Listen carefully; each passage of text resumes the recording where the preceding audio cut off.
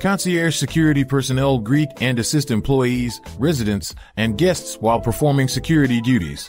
This hybrid security role leverages a security guard with customer or visitor assistance training. Concierge security officers welcome staff, residents, and guests. They adhere to an organization's protocols and promote its culture while providing customer and visitor services. During emergencies, they support emergency responders and also complete administrative duties like signing for packages.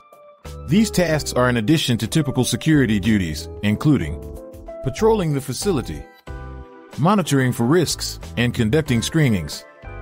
Ensuring that staff entering a facility have their ID cards or preventing unauthorized access and liaising with internal and external security stakeholders. Beyond traditional security training, concierge security officers are skilled in effective communication, empathy, emotional intelligence, and digital literacy. Security officers are often the first and last impression people have of a facility, providing protection to the building and its occupants while maintaining approachability.